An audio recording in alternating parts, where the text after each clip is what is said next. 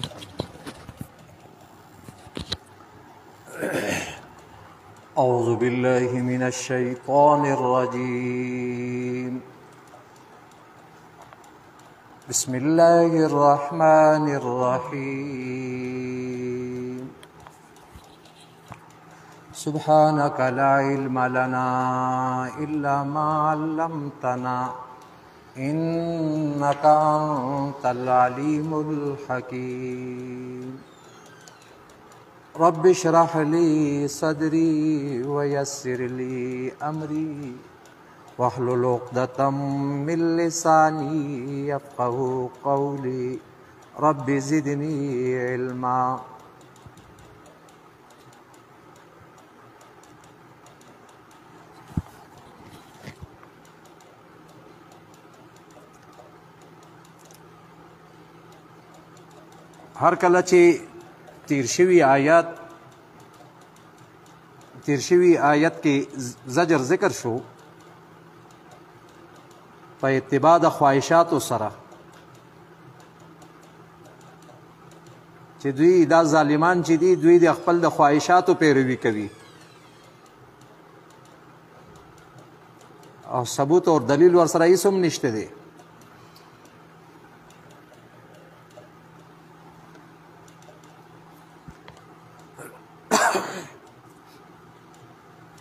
نو اوس په دې آیت کې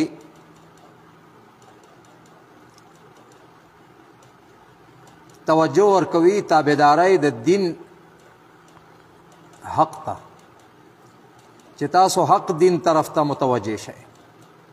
چې هغه دین فطری دی یعنی توحید خالص دی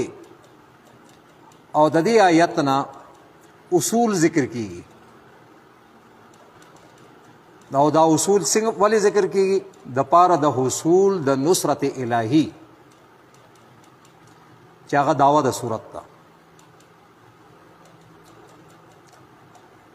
فاقم وجهک فا سره راوړی دی ځکه چې دا تفریح ده په تیر شو دلیلونو او په امثالو باندې فاقم وجهک وجه ذکر کړ دی مراد د دین ذات دی او یا قصد دی او اقیم اقامت د مخ دا دی چې بل طرف ته بیا توجه موړه ټول قصد او توجه ټول بدن او قوتونه دین توحید ته وګرځوه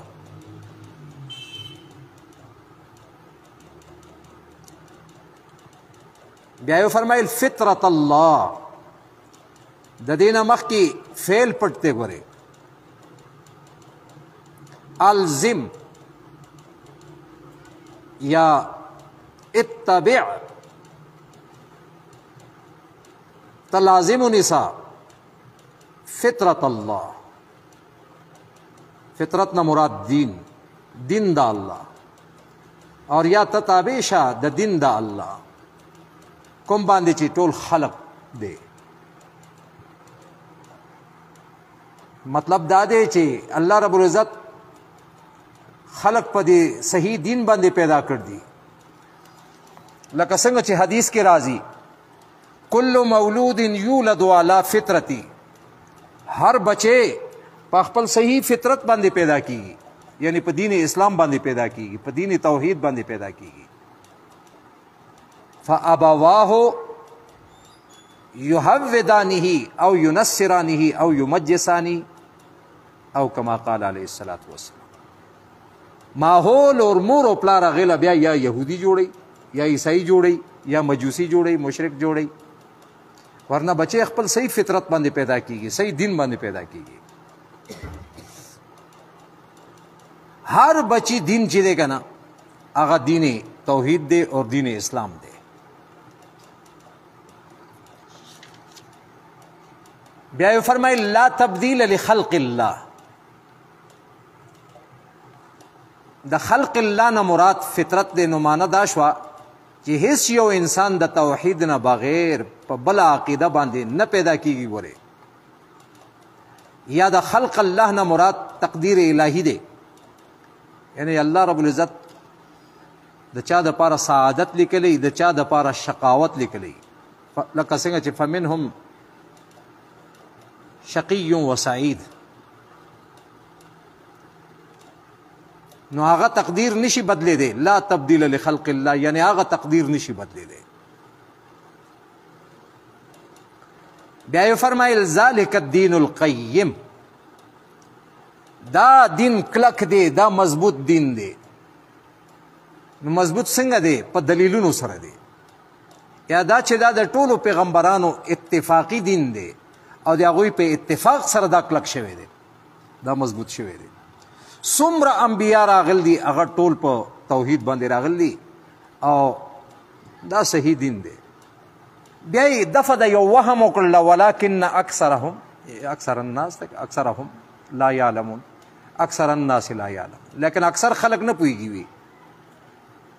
دا یو دفع د وهم ده چې یاره دا کلک دین دی او د ټولو خلکو دین دی نو دلته کې خو بی دینه زیات دي نو فرمایل اکثر خلک پوهیږي نه هغوی دی بې علمۍ د وجې نه د جهالت او د ناپوهۍ د وجې نه بل طرف ته اوړي نو فاقم حکم دی او د هغې دپاره بیا هغې نه وروستو درې دلیلونه ذکر کړي دي په دریو جملو کې ګوره فاقم وجهک للدین حنیفا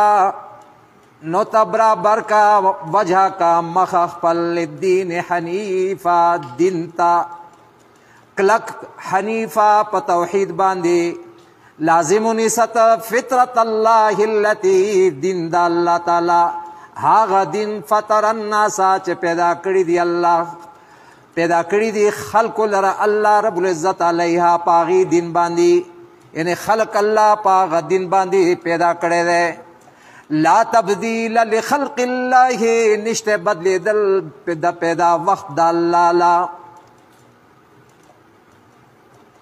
غیلا بدلی دل نشته الله نه بدلی غیلا هرست خلق په خپل خپل د ناپوهۍ د وجنه هغه کې ګړبړ کوي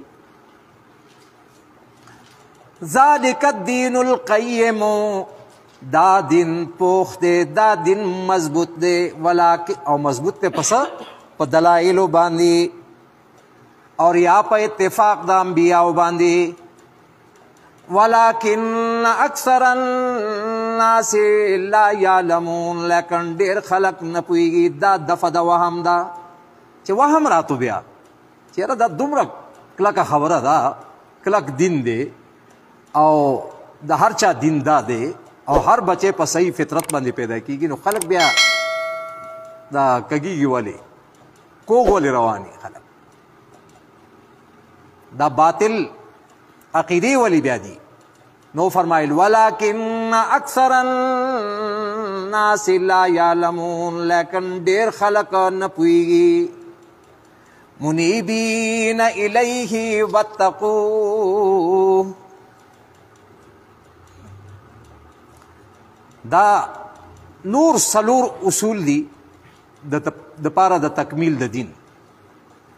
او هغه په دې آیت کې ذکر دي د پاره د تکمیل او د اقامت د دین چې دین قائم شي او دین مکمل شي نو هغه سلور اصول دي ذکر کیږي یو اصل دی انابت یعنی رجوع دویم تقوا دریم اقامت الصلاه مز قائمول سلورم قطع تعلق د مشرکانو انابت نه مراد حق پرستی ده چې دا ضد او د تعصب نه سړی ځان بچ کی او بیا فرمایل ولا تکونو من المشرکین مشرکانو سره دوستانه یارانه مکوای څه مطلب د هغوی شرکت مکوای د هغوی په غم خادای کې هغوی سره ناسته پاسته پرېږې دی هیڅ مشابهت او د هغوی په عمل کې د هغوی په عقیده کې سره مکوای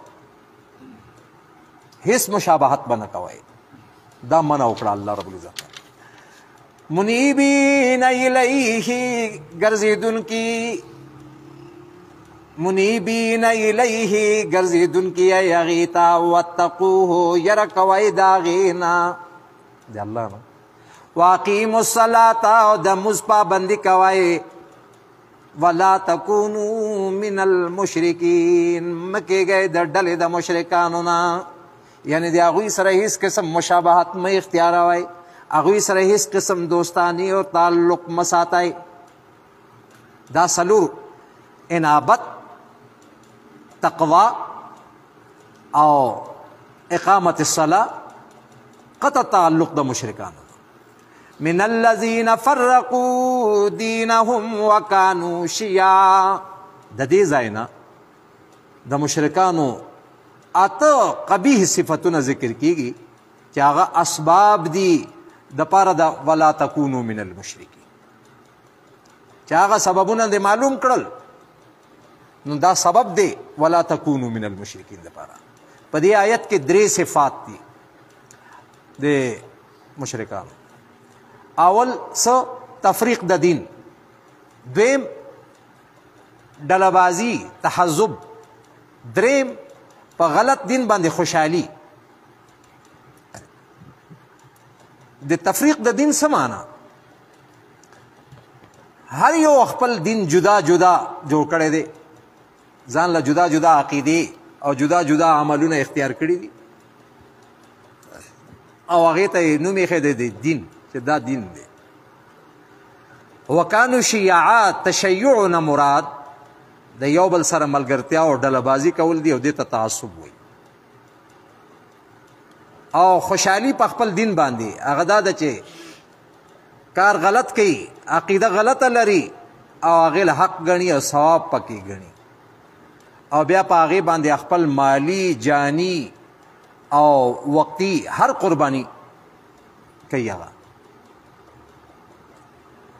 من الذين فرقوا دينهم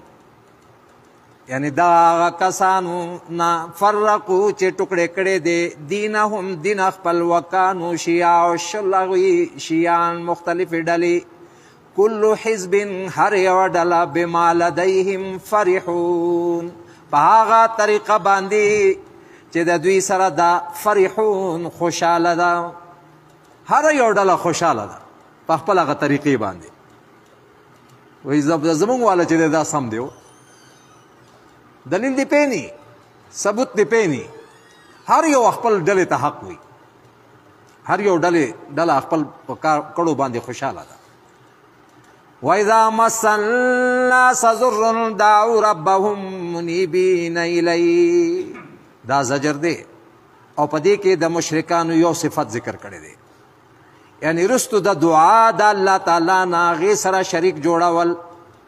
دا صفت دی او دا سه په سوره نحل آیت نمبر 54 کې هم راغلي دي منیبین نه مراد اخلاص او اقرار د حق پرستای دی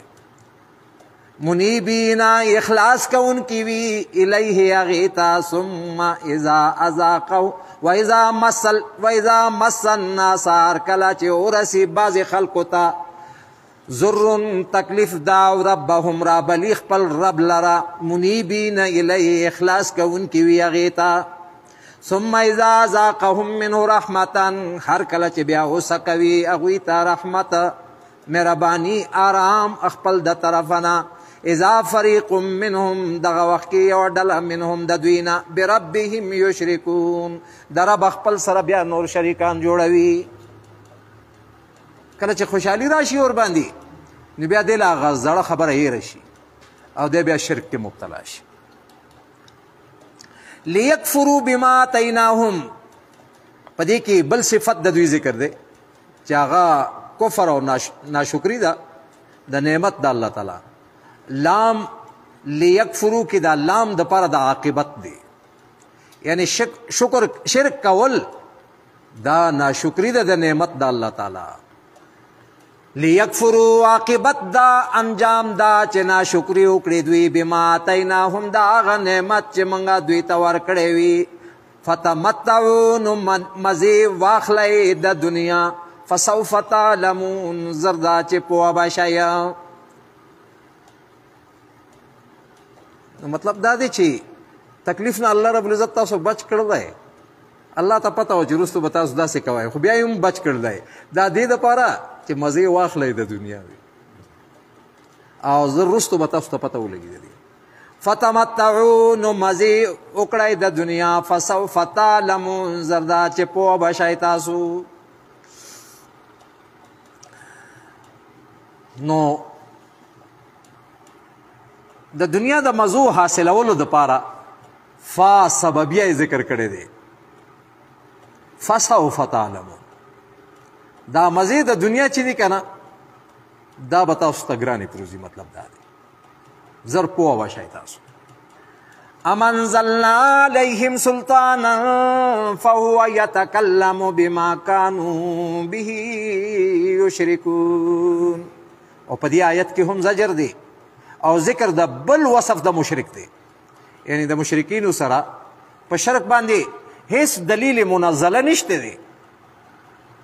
سراکوز شوی دلیل نشته دی نو معلومه شوه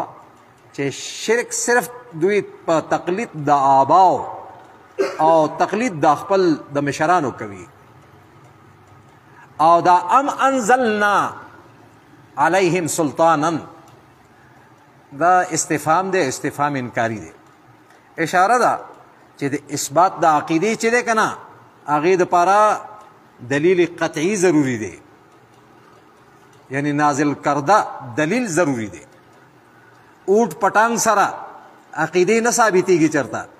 چې فلانی سړي خوب کتلې و فلانی بزرگ دا ویلی و فلانی مولا دا ویل دی د سره عقیده نه ثابتېږي دلیل منزله بخای عقیده د پره دلیل منزله هغه دلیل چې هغه را کوز شوی وي یا په قران کې یا په دلیل قطعی وی هغه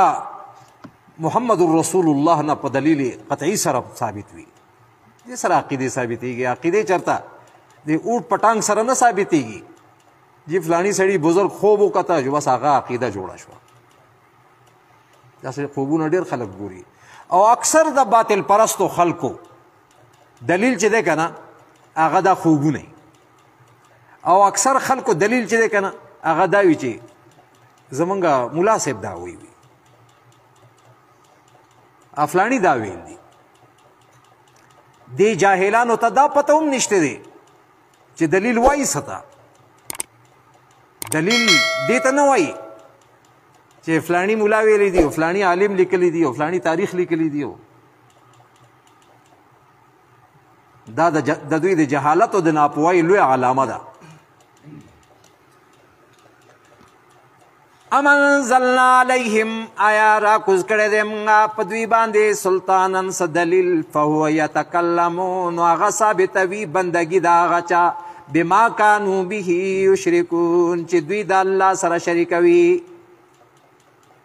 دوی چې د الله سره دا کوم شریکان جوړوي د هغوی بندګي ثابتوي دا څه دلیل ما راکوز کړ دی دوی باندې څه دا دلیل ما راکوز کړی دی نه د راکوز کړی مطلب دا دی استفهام انکاري دی او اشاره وشوه چې عقیده په دلیل منزله ثابتېږي وَإِذَا زَقْنَا النَّاسَ رَحْمَةً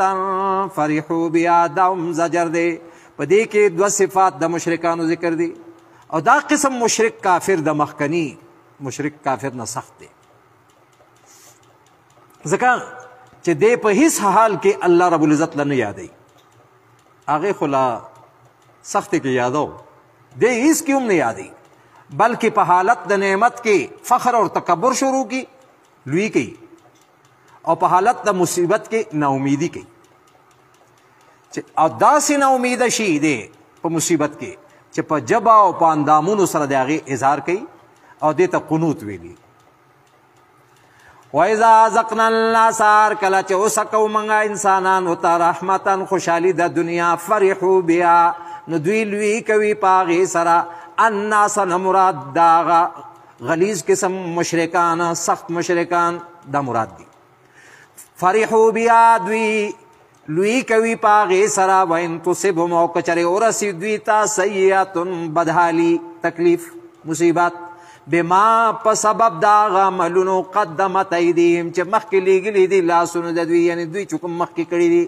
اذا هم یقنطون دغه وخت دوی نا امیدی کوي او قنوت ویل شي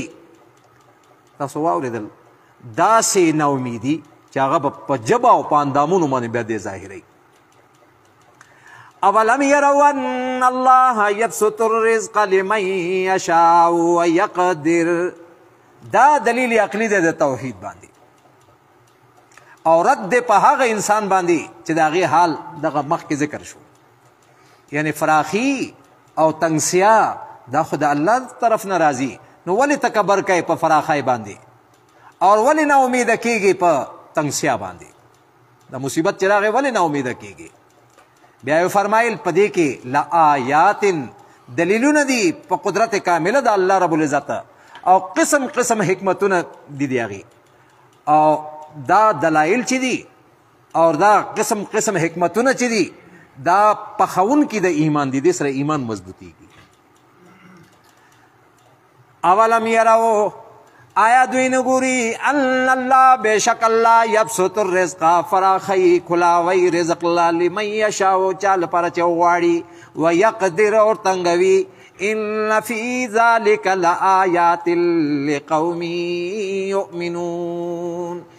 یقینا په دې کې ډیر دلیلونه دي هغه قوم لرا چې ایمان لري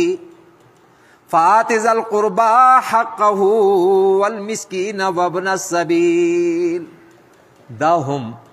دا غو اصول سره تعلق لري کوم چې مخکې دا آیت نشورو شوی تیر شوی اصول چې وو هغه د اصلاح د نفس سره متعلق او په دې کې احسان د خلکو سره دی د پاره د دې چې د دعوت د حق چې ده کنه د حق لارې دعوت چې ده دا آسان شي فآت ذل قربا حقه او د دې آیت ربط د نږدې آیت سره څه دی فراخي د رزق حاصلېږي په صله رحمای باندې دا یو د نقطې خبرو مې زده کړئ فراخي د رزق حاصلېږي په څه باندې جي په صله رحمي باندې خپل ولی به پالي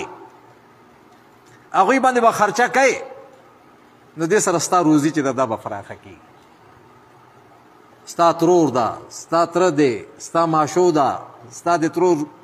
اولاد دی عاجزان دي او غریبانان دي ډیر زیات نو غستا د صله رحمه ضرورت ته وسالته کې دا سره رحمی کوا نو دې سره یو نقطه لاس تر الله دې سره ستار رزق فراخ کیږي دې سره طالب الله رب العزت خوشاله نه راکړي او دا خطاب خو نبی علیہ الصلوۃ والسلام ته دی لیکن مراد امت دی او دا حکم په احتیاج د ذویل قربا کې چې هغه خپلان چې هغه محتاجي او ستا طاقت شته نو بیا دا حکم وجوبي دی دا حکم واجب دی بیا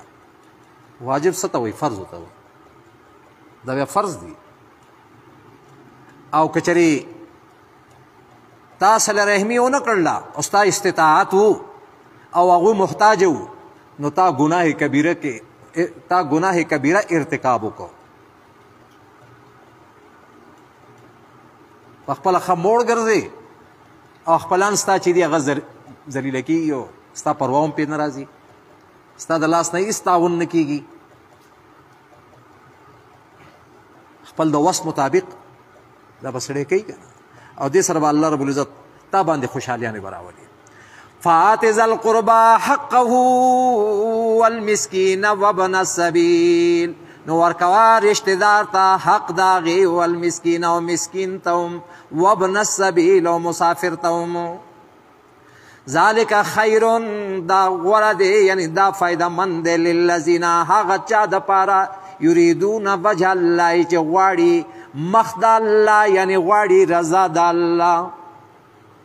مقصود رضا د الله دی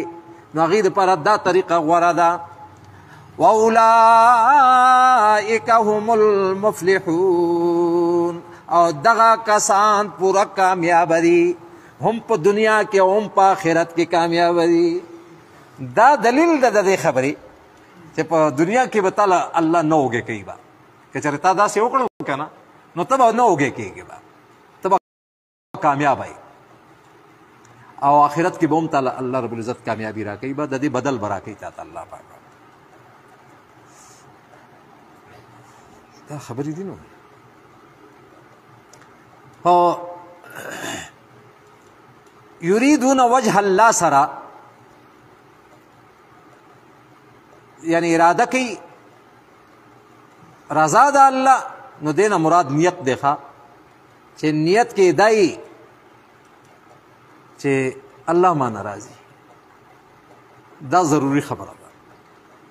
نو اشاره وشوه چې ثوابونه حاصلېږي په نیت باندې ګوري او کستا غرض دای چې زما نمایش وشي زما نوم وشي او زما خپلانو کې زما جنډه چې دا, دا بلند شي او زما خپلانو باندې زما دا روب چې دا قائم شي چې یاره زه ډېر مالدار یم او تعاون هم کوم دو سره ادا زما د لاس لاندې راشي نو دې باندې ثوابونه موابونه نه ملاويږي ګوره او دې سره غستا روزي هم زیاتېږي چې خپل پیسې د خرابې کړې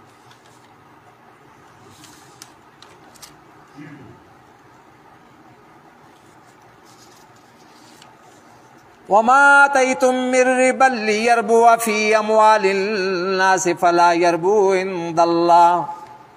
دا من کول دي د مقابل د احسان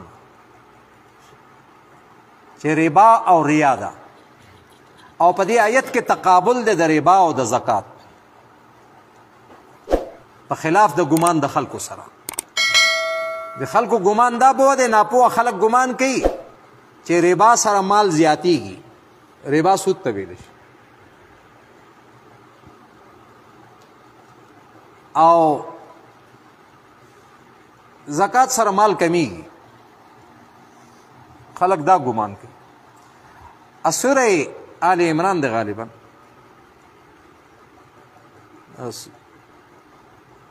سوره بقره دی چې الله رب العزت فرمایي شیطان تاسو له یری د فقر نه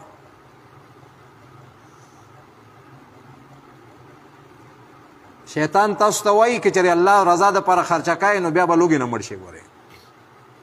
او الله اراده کوي تاسو د پاره د خپل د بخشش او خپل د فضل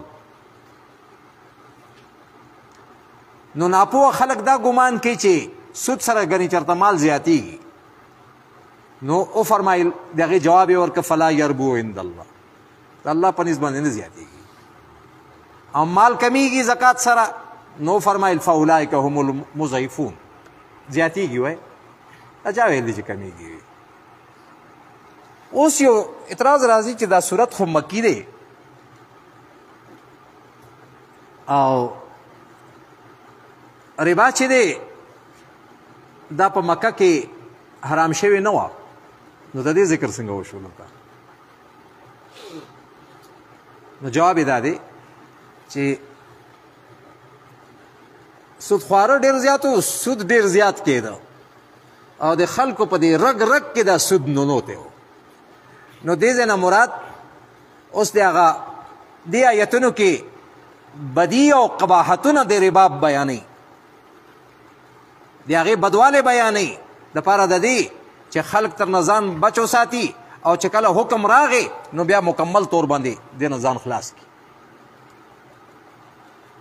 او زمون خلک اپیلونه کوي زمونږ مشران کې شران دا اپیلونه کوي چې جی دا سودی نظام دې نه ختميږي او دې ځکه هم خلکو هغه لپاره قسمه قسم هیله او چلونه او باندې جوړې کړې دي په ډاګه میدان باندې نشو غستلې سود او باز پکې مولیانو ملوث ځان ته مولیانو وای هغه سکی اوس چې هغه ته وای چې یاره مالا قرض پکار دی یو لک روپۍ هغه نه لک خو نه راکوم ځکه چې بیا که ته ماله زیات راکوې دا به سودي خو داسې وکړم چې تاله به چیني راکوم زه اول دې خبرې مې نه پوهېدلم چې دا څه ټوټکه ده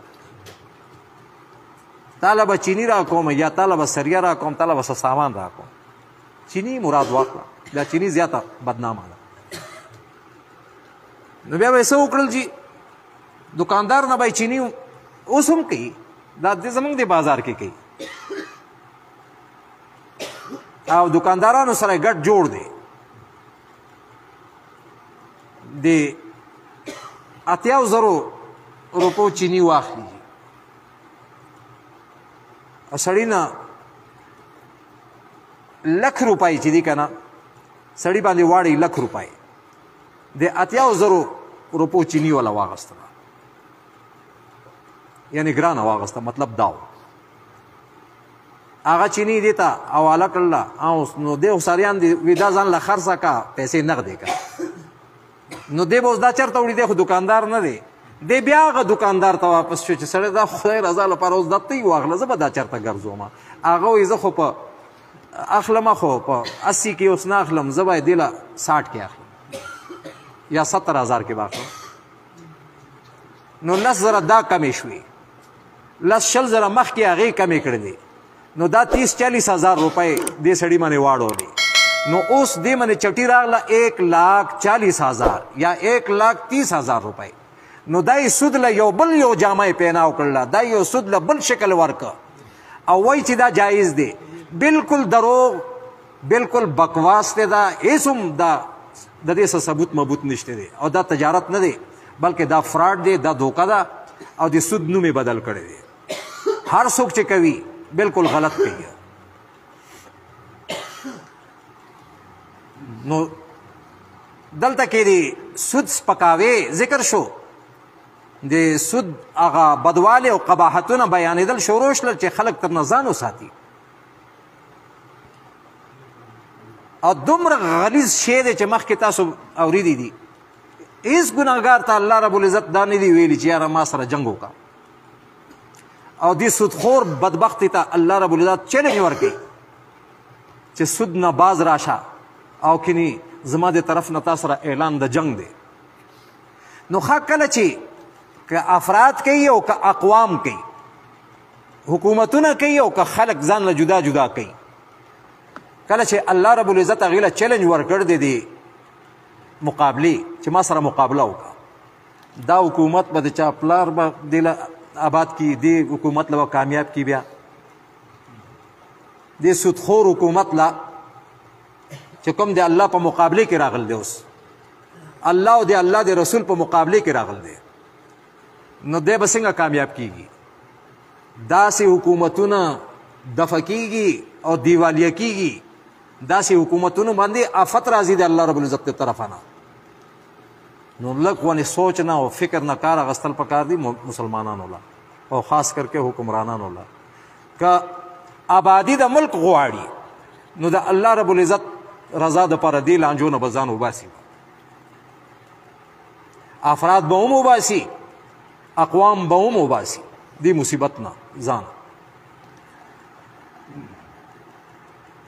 یا دلته ربانه مراد سپک خوې دی هغه سپک خوې نه سم مراد دی چاله سشه دی ورکړ دی هدیه په تور باندې یعنی نوم دی ورکړ دی چې دا هدیه ده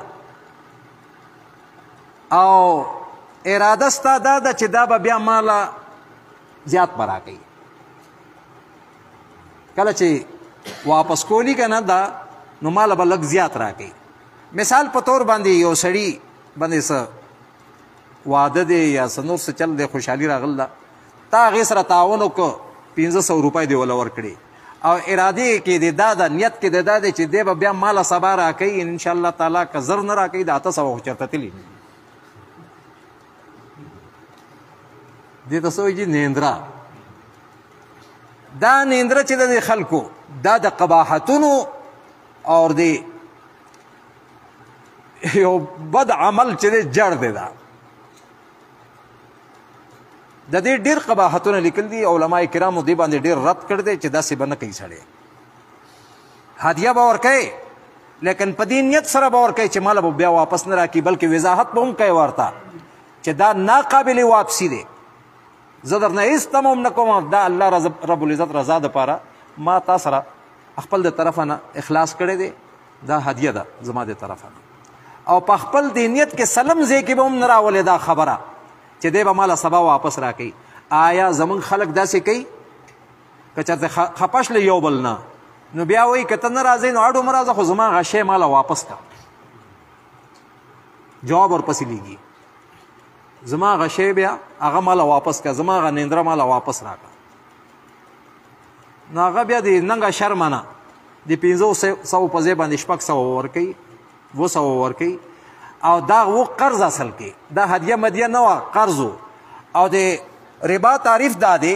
کل قر کل قرض جر نفعا فهو ربا هر قرض چې هغه نفع راکاږي فایده راکاږي هغه سود دی اور بل حدیث کې راځي کل قرض جر نفعا فهو حرام هر قرض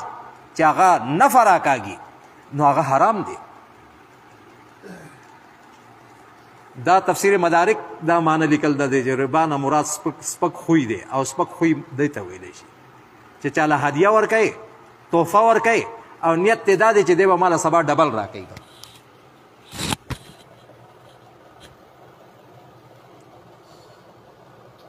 دا تفسیر مدارک لیکلی دی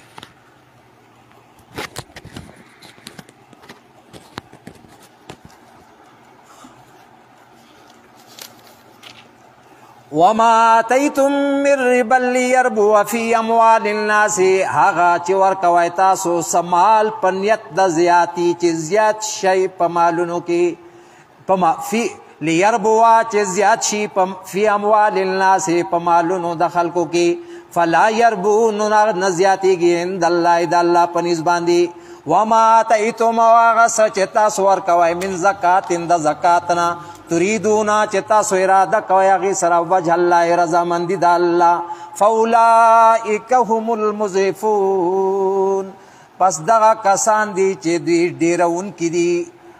هغه مالونو او اجرونو لره مضعفون ډیرون کې دي زیاتون کې دي مالونو او اجرونو لا ثوابونو لا ثوابونو هم ډیریږي او مالونو هم ورته ډیریږي الله الذي خلقكم ثم رزقكم ثم يميتكم دا هم دلیل عقلی دی او ترغیب دی چې په هر عبادت کې اراده د وجه الله کوي د الله د رضامندي اراده کوي ځکه هغه په تاسو باندې انعام د خلق کړي دي تاسو یې پیدا کړی یې او بل انعام در باندې دا کړ دې چې روزي هم دل درکې لګیا دي او اماتت او احیا مړکې او ژوندې کې د د پاره د تخفیف ذکر کړی دي او بیا په دې باندې رد د شرک صراحتن بنا کړی دی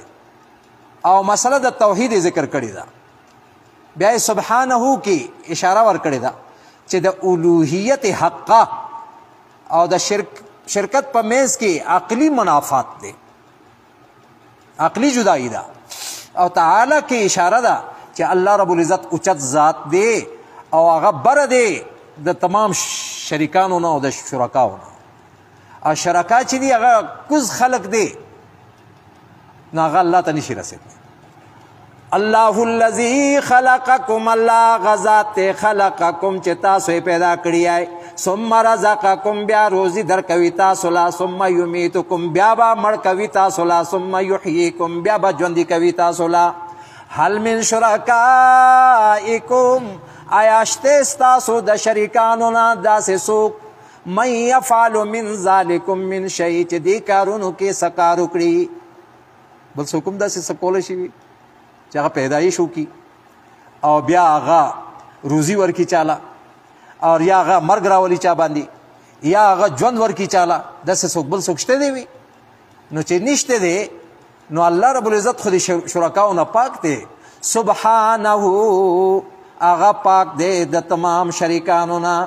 وتعالى وغبر دی او دا شریکان ستاسو چې دی دا ښکته دی نو د هغې د دې سره تعلق دی دا هغوی سره هغې سره کله شریکان جوړېدی شي سبحانه الله پاک دی وتعالى او بر دی دا غسنا عما دا غسنا یشرکون چې دوی شریکان جوړوي دا مشرکان دا مشرکان چې چاله الله سره شریکان جوړي الله د دین ډیر زیات پاک دی اور الله رب العزت د دین ډیر زیات اوچت دی الله دې امر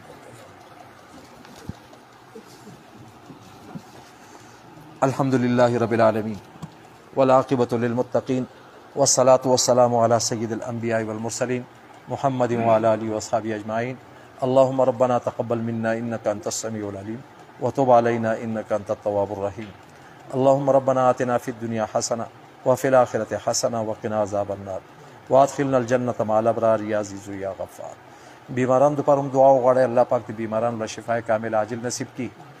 یو تن د دعا درخواست کړی دی هغه لپاره هم دعا وغواړي د هغه ضروري حاجتونه دی الله رب العزت سر ته ورسي او کچري بیماری وغیرہ صدا نو خدای پاک دې بیمارانو له شفای کامل عاجل نصیب کړي الله رب العزت زموږ حالت باندې رحم وکړي او پورا په امت محمدیه باندې د الله رب العزت رحم وکړي الله پاک ته هدایت نصیب کړي